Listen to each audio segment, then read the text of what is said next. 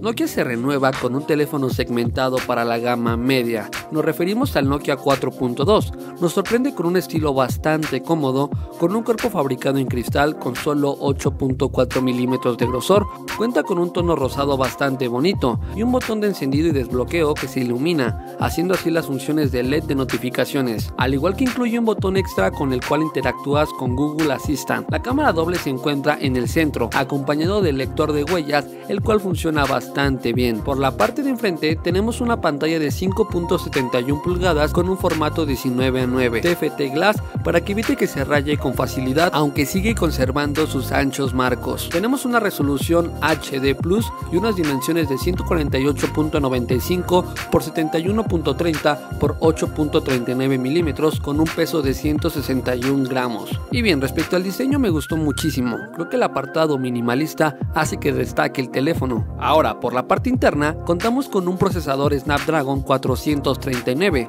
acompañado de 3 GB de memoria RAM y 32 GB de almacenamiento interno ampliables mediante tarjeta SD. Realmente en este apartado creo que el rendimiento es muy bueno. Si piensas tener algunos juegos y unas cuantas redes sociales está perfecto. Otra innovación es en el software, será incluir una versión stock de Android, el cual tiene la promesa de recibir un par de actualizaciones completas de software y 3 años de parches de seguridad. De serie ejecuta Android 9.0 Pay y también llega con la actualización de Android One. En el apartado fotográfico encontramos una cámara doble de 13 y 3 megapíxeles, brindando unos excelentes resultados para su gama, sin embargo la interfaz de su cámara no es la mejor. Los colores, exposición y luz están bastante bien. Y su cámara frontal cuenta con 8 megapíxeles que para las redes sociales es correcta.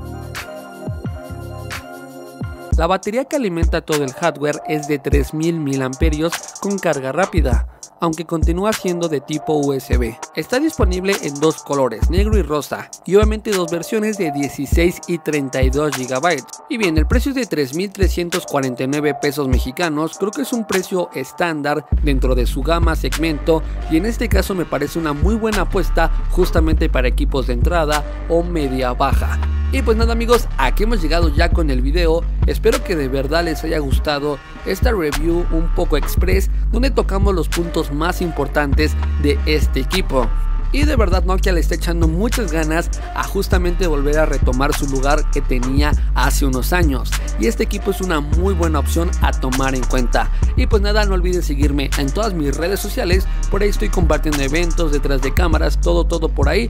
Y por supuesto también no olviden activar la campanita aquí abajo. Esto ha sido todo por mi parte. Yo me despido. Hasta luego